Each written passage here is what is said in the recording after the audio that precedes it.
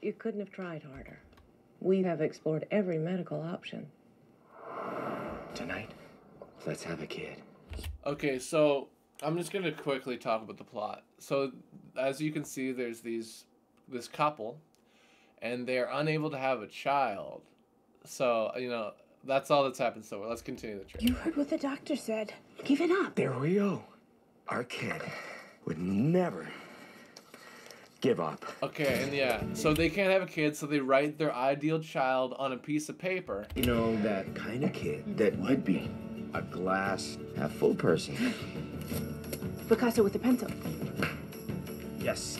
And I don't know, this movie is just so like contrived, like so classic, sentimental. They're trying to pull on your heartstrings, but at the same time, it's such a bizarre concept of this child growing out of the ground because they take their ideal child that they write on the, these pieces of paper and they put the pieces of paper in the ground and then Timothy grows from the ground and that is the beginning of the odd life of Timothy Green fucking in this movie's insane. Our kid would rock. We so agree. Just once, our kid got to score the winning goal.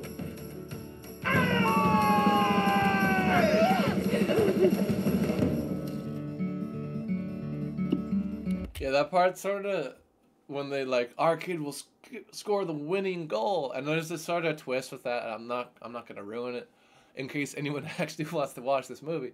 Um, but the part where they're like the and our kid will score the winning goal, it's like sort of abrupt, like sort of it's almost like a jump scare. It sort of got me.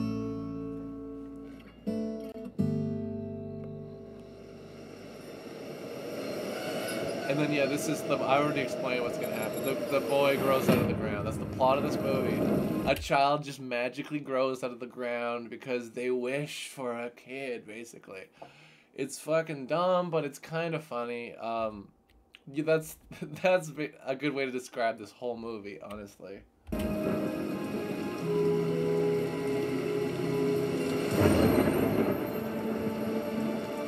Yeah, and that was it's weird because like again, it's just supposed to be like magic. You know, it's that's all that explains it. It's just magic. This is how it goes. The kid grows in the on the ground. He has leaves on his legs. Uh, and the rain just rained on their house. They make a point of that, and I thought that was kind. Of, I actually kind of liked that effect of the rain going up. It was kind of weird, but I and I like, but I kind of liked it. I kind of liked that part. And they showed in the trailer for you. Honey, there's something you need to see. Look at this hole in the ground that this boy clearly came out of. Oh yeah, and then they just got this kid covered in dirt. Is he for us? Magic is good plot armor. Like I ha- I kind of hate it sometimes. It can be done right, obviously. There's fun movies that I love that use magic, like The Dark Crystal or um, Labyrinth, to name a couple. For some reason, I named the ones with puppets first. But anyways, still, I stand by those movies. Um, magic is a good plot armor, though. It, I mean, it is a way to just be like, well, you, you know, wh- why doesn't that work? Why doesn't this make sense? Well, magic. Well, magic. Well, magic. That's the answer. Um, so yeah, you're right about that. Um, and that's how this boy comes to, comes to be. Mom, Dad. I'm getting that feeling. Yeah, it's so weird too, and it's kind of creepy in a way because they're like, like, who are you? We're gonna get you to your actual parents, which, to be fair, is probably the right response. But then he's like, you're my mom and my dad. Like, come on, figure this out. I clearly grew from the ground. Put put the pieces together. Come on. Feeling. Where did he come from? Magic. The love interest for Timmy. Oh yeah, okay, let's talk about this real quick.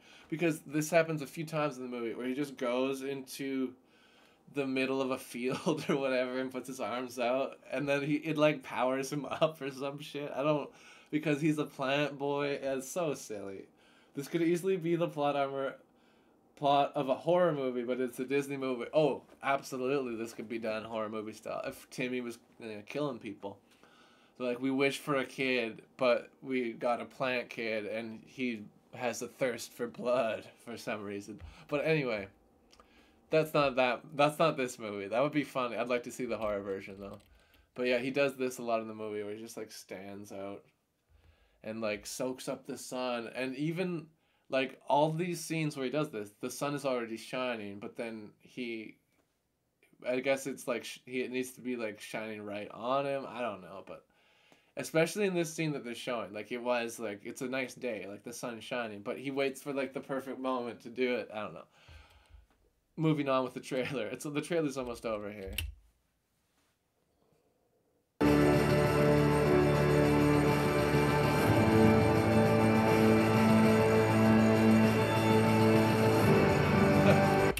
And the scene there with the when they're playing the cowbells. So lots of the characters are kind of dicks in this movie, like the father or the grandfather of Timmy, let's put it that way. Um I forget the Joel something is the Joel Edgerton, I think is the name of the other actor. We'll look for sure on IMDb, but the mom and dad is Jennifer Garner and Joel Edgerton. Um ah, I completely forget where I was going with this. Oh yeah. So there's a lot of dickhead characters in this. The, like the dad of the dad, so the grandpa of, of Timmy, and the sister of Jennifer Garner in this movie is super mean, uh, and kind of just a bitch throughout. Very mean spirited. Um, she's just like saying how good her kids are and like being. Uh, Jennifer Garner says something about, oh yeah, Timmy, uh, is a great artist, and she's like, well, look how that turned out for you. Just saying things like that, really negative things.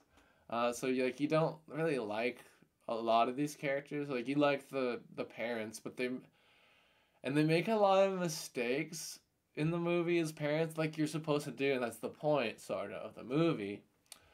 But just some of the things of like, really, that's that's your decision, uh, really? I don't know about that decision. Um, but yeah, I was gonna talk about the scene with like the cowbell and stuff. So there's a scene where um Brenda, who is the sister of Jennifer Garner in this, she basically tricks because uh, uh, Jennifer Garner says that Timmy's good at music, so she tricks him into coming to her recital for her kids, um, and just like makes him go on stage, and then so he starts just like tapping on a on a cowbell or something like that, or some sort of a mallet and hitting a wood block or something. And then his dad starts like accompanying him and singing Low Rider. Uh, and then his uh, Jennifer Garner comes in with the ba da ba da ba ba ba part, all a cappella except for smacking, except for per- percussion. Um, so I don't know. That scene's kind of dumb, but it, it goes into that sort of big old recycling bin of Disney jargon, as I like to put it. Uh, just classic sort of feel good moments um, with them dancing. And you like go away from that, was like, so did, like, was that good? Like, did they do a good job? Did people like that? Because it wasn't, it wasn't good. It wasn't. But they came out of that being like, yeah, we did it. And I guess the point is that they had fun and they rolled with the punches. And I did, I did kind of like that scene, but it was kind of silly. Anyway, we're almost done the trailer. Let's go.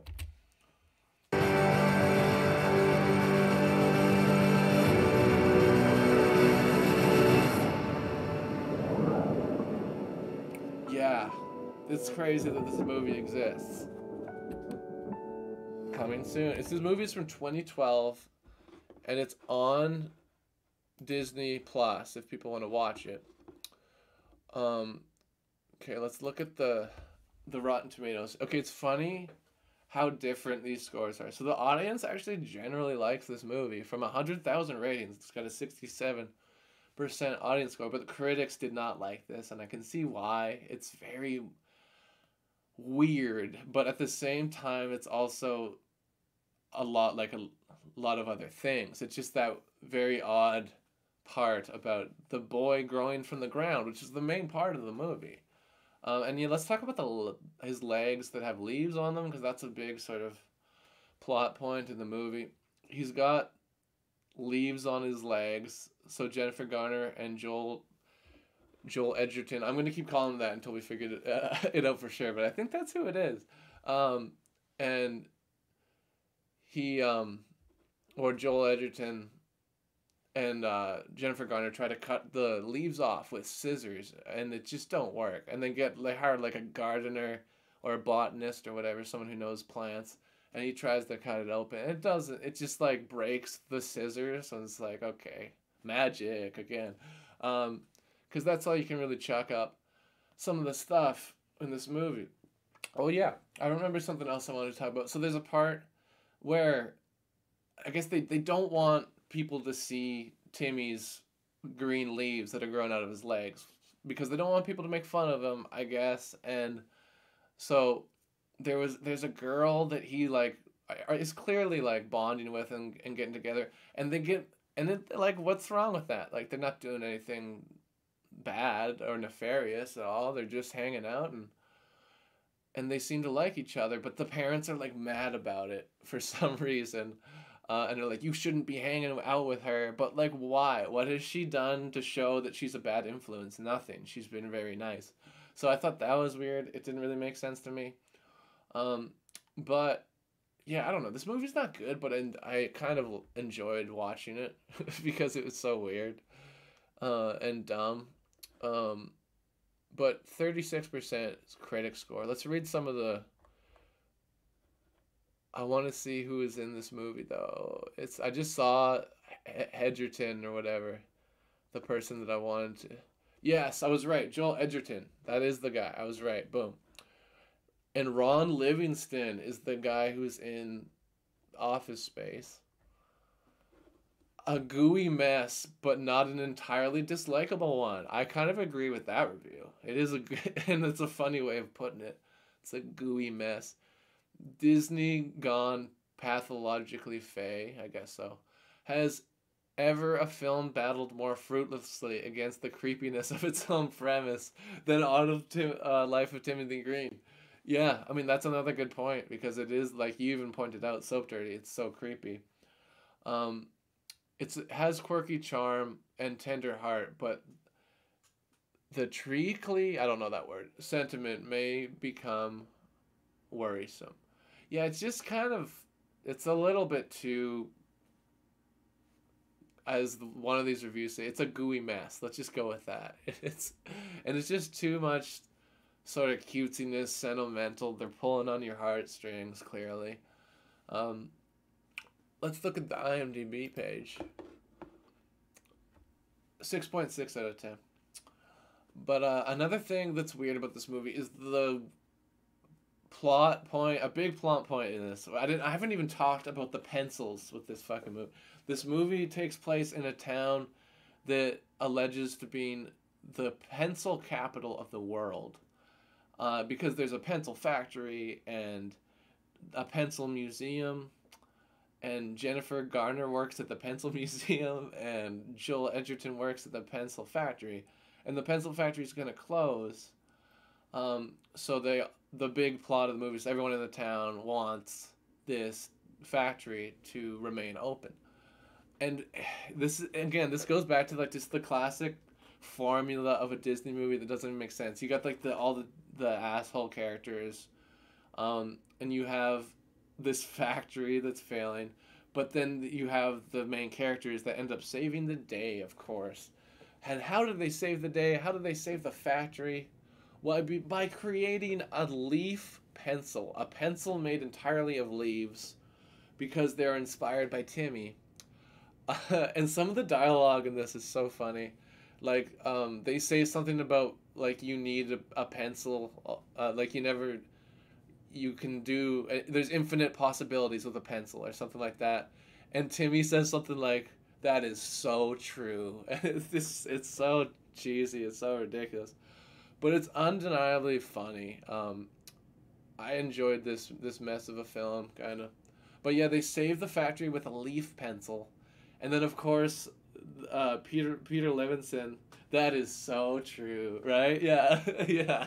Just his delivery too was really funny for it. I really liked that bit. Um, but yeah, they create and the pencil. I like. I call bullshit. Like I don't think it's actually made of leaves, but it looks cool. It's like a square or, or a rectangular pencil. It's kind of, but like with a rounded bottom. It's hard to explain, but it look it looked cool. But I'm not. Would that save the company? Because they act like like this is the this saves the company. Is it because leaves are cheaper? Like you can just take the leaves. Like I don't really understand the process. I wish they would have explained that a little more. uh, why this leaf pencil is saving the company? Like why is it superior to other pencils? I don't get that. But they it doesn't seem to matter. That was all they needed. They saved the, the company and of course the evil boss, Peter it was another dick character in this. The guy from Office Space. He steals the idea and takes credit for it, but of course Timmy's like, My parents thought of it, and they were inspired by me, boop boop. Uh basically.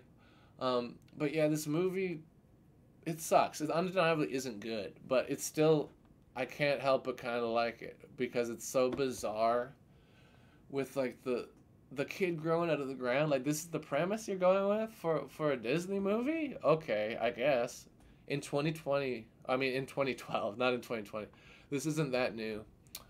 Rosemarie DeWitt is the plays Brenda, her um Jennifer Garner's sister in this and she's in I think the show United States of Tara. That's what I know her from.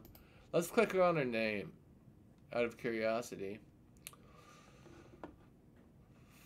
Let's see what's she done. She's known for Rachel getting married. I don't know that. Oh, she's in La La Land. I've seen that. I don't remember her in it, but I also don't. I didn't really like La La Land.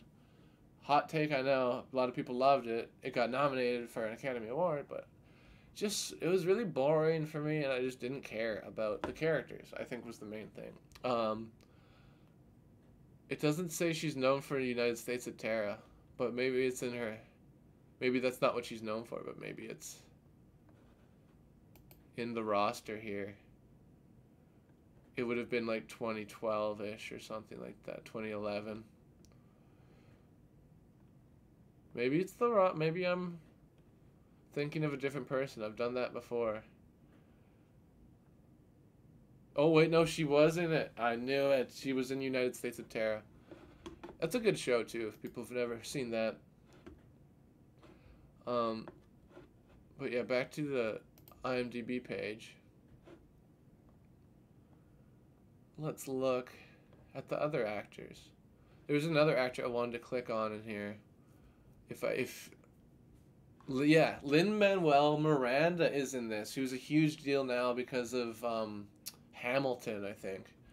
But and he's in like lots of other stuff. But yeah, he was in this movie. He's the the botanist, the plant guy who's trying to cut off the leaves, but he does it unsuccessfully.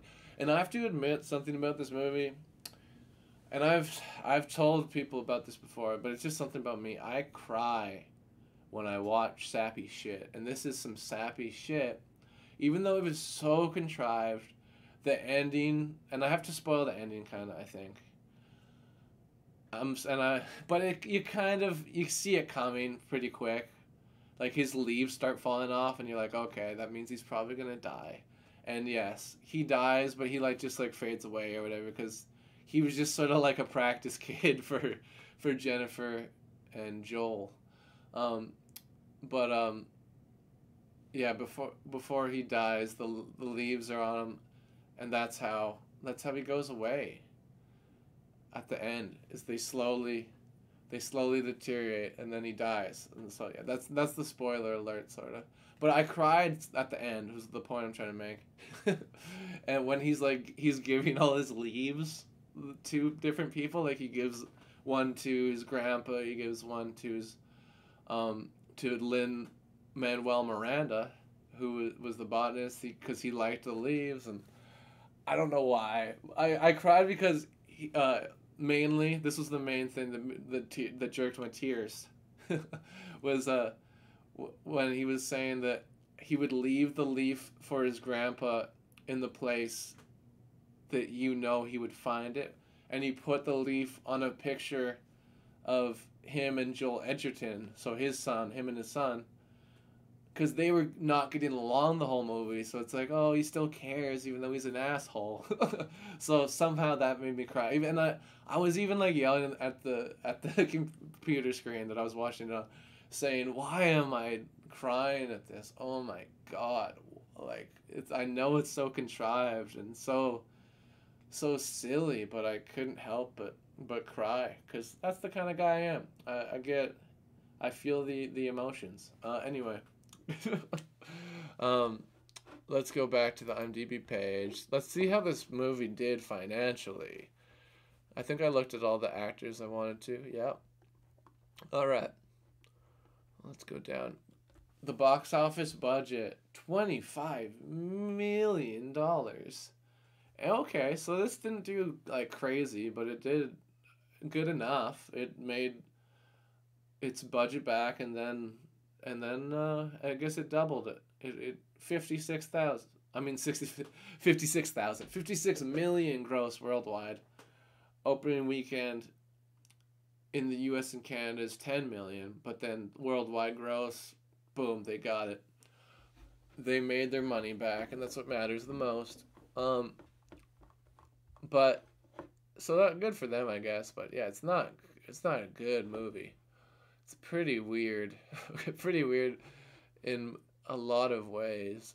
But um, by the way, I didn't mention this. I don't think anyone he is here that has seen this movie anyway. But for anybody today or in the future, if you want to join my Discord, I put it in the chat there. Uh, you can you can join the Discord and you can learn about what movies I'm going to review before I review them, and and lots of stuff. You can promote yourself. But yeah, we if anyone's seen this movie, we could talk about it. But in the movie chat voice channel in there. But no worries. So let's make my head big again. And we're almost done here. Boom. And that's a paddling. Wait, not quite. It's not quite lined up. You can see. Ooh. Oh man, it's this this little bit. Oh, oh yeah, that's good. We're back. I was like, I thought it was not quite the right ratio or something. No, we're good. Anyway, to sum up the review, I've already said. I think I've said pretty much everything I want to say this movie's super weird that it even exists. And like Soap Dirty said, it could have easily been a horror movie about a uh, couple that can't have kids and then they have a kid grow out of the ground and kill them. That like it could happen. There's a movie there. There's something there. But um instead we get this, this extremely it's a little bit creepy, but it's it's extremely weird. I would say it's definitely the right word to describe it. But um, I couldn't help but kind of enjoy it. I'm gonna give this a passing grade, um, but it is definitely not something I would recommend to everybody. If you want to watch a super contrived, magic fueled movie, live action family, sentimental jargon, if you want to watch this movie about a boy that grows out of the ground then then do it. It's on it's on uh, Disney Plus if people want to watch it. But you know, no pressure. Obviously, I wouldn't. Uh, like I'm saying, I'm not recommending this exactly. It wasn't good, but if you do want to watch it, it's on Disney Plus. But yeah, overall, this movie's not good. Even though I, I cried, but I was yelling like, "Why am I crying at this?" Um, it's very stupid. There's lots of pencil talk. It's just laughable dialogue. It could be it could have been better, but it could have been worse. Um, and overall, it was pretty fun, uh, even though it was dumb. I kind of liked it. I'm gonna give it six. Yeah, yeah. Let's just give it six. This isn't gonna win any prizes. It's not a good movie, but it's kind of fun. So I give it a passing grade, six out of ten. I kind of enjoyed watching it, but some of the parts is like, oh my god, this is ridiculous, or this doesn't make sense. Um, but yeah, The Odd of Life of Timothy Green. 6 out of 10 ducks.